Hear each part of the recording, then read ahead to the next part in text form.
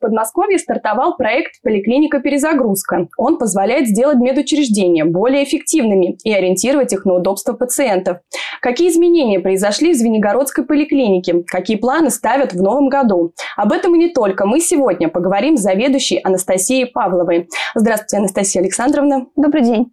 Расскажите, пожалуйста, что поменялось в рамках проекта «Перезагрузка поликлиника» и какие изменения произошли? Могу вам сказать, что этот проект стартовал не только в 2023, а взял свое начало уже в 2022 году. И наша поликлиника была одной из первых в Одинцовской областной больнице, которая в нем участвовала. Это позволило нам, и я думаю, жителям взглянуть немного с другой стороны на поликлинику и на ту помощь, которая оказывается именно в ней.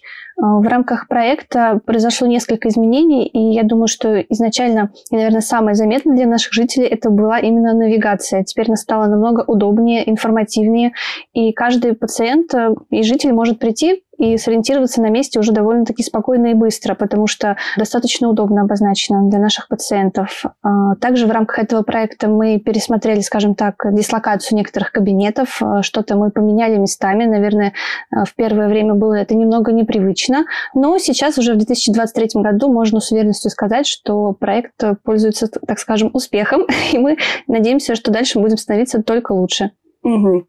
А известно, что в Савинской Слободе открылся новый офис э, врача общей практики. А можно как-то поподробнее узнать, что это вообще за офис, да, как э, изменилось, э, может быть, прием из-за этого пациентов? Да, конечно. У нас открылся новый офис врача общей практики в Савинской Слободе. Это связано именно с программой губернатора, так скажем, благодаря ему построили новый офис, который стал удобен не только для пациентов, но и также для сотрудника этого данного офиса. Врач общей практики занимается приемом не только взрослого, но и детского населения. А именно то, что в его офисе находится помимо кабинетов приема, а также каких-либо процедурных кабинетов, еще и его место жительства, можно так сказать, что позволяет оказывать э, медицинскую помощь в условиях 24 на 7, если действительно какая-то экстренная ситуация.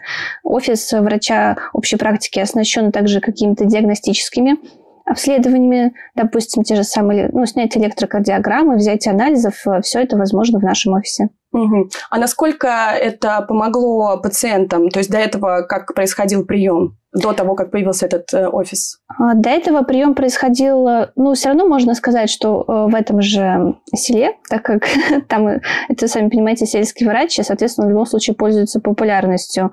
Вот. Но я думаю, что именно само размещение и именно помещение, оно стало намного более обширным, которое может вместить, так скажем, себе больше людей, которые приходят к врачу на прием. Угу. А, есть еще Ершовская амбулатория, в ней произошли, произошел ремонт. А, скажите тоже, какие изменения почувствовали на себе пациенты, что там а, изменилось? Э, опять же, обращаем внимание, то, что Ершовская амбулатория, скажем так, подтягивается за нашей поликлиникой, и она идет по пятам по проекту перезагрузка. Соответственно, тоже изменилась и входная группа, и внутри, и небольшая облицовка снаружи у Ершовской амбулатории. Также стала удобная навигация, но могу, э, забегая вперед, сказать, что это, опять же, не конечные планы, и мы в дальнейшем тоже пересматриваем внутренние изменения. Угу. А как-то поподробнее можно узнать примерно, что за внутренние изменения ждут пациентов? Э, ну, это, наверное, опять же, связано именно с кабинетами, ну, так, такие более технические работы, вот, а косметический ремонт, который произошел в Вершовской амбулатории, он уже на данный момент завершен. Угу. А какие-то планируются изменения специалистов? Может быть, появятся новые врачи? В 2024 году я действительно очень надеюсь, у нас уже есть такие планы, что у нас планируется выйти узкие специалисты, такие как гастроэнтеролог. Вот, и надеюсь, что дополнительно будет также еще один невролог. Угу. А по поводу диспансеризации тоже какие ставите планы в этом году? И, может быть, поподробнее расскажите жителям о том, где можно пройти в Звенигороде диспансеризацию, какими этапами она проходит? Конечно, диспансеризация является неотъемлемой частью нашей медицинской жизни, а также жизни э, нашего населения. Э, возвращаясь обратно к проекту «Поликлиника перезагрузка», могу сказать, что э, в его рамках мы выделили отдельные кабинеты, мини такое отделение профилактики, где пациенты могут спокойно прийти и пройти диспансеризацию. Диспансеризация происходит в два этапа, и в первый этап входит это обследование, которое, соответственно, возрасту назначаются пациенту, и, естественно, консультация консультация врача. У нас это все располагается рядом, то есть пациент заходит, сдает анализы, и далее э, происходит прием доктора. И второй этап диспансеризации, когда уже после выявления каких-либо отклонений, если они есть в тех или иных показателях или по тем или иным жалобам пациента, мы далее его отправляем на консультацию к более узким специалистам.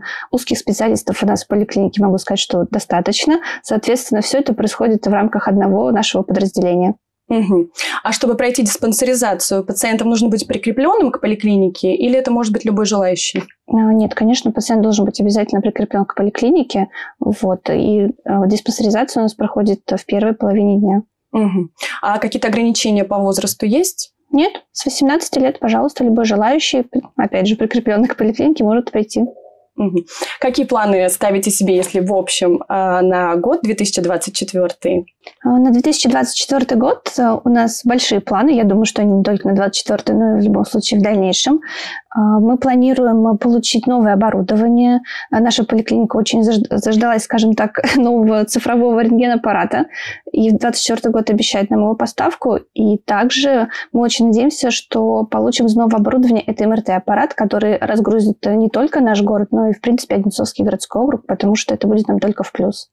А, спасибо, что пришли к нам, Анастасия Александровна. Большое спасибо, что пригласили. Будьте здоровы и спасибо, что провели свое время вместе с нами. До встречи на ОТВ.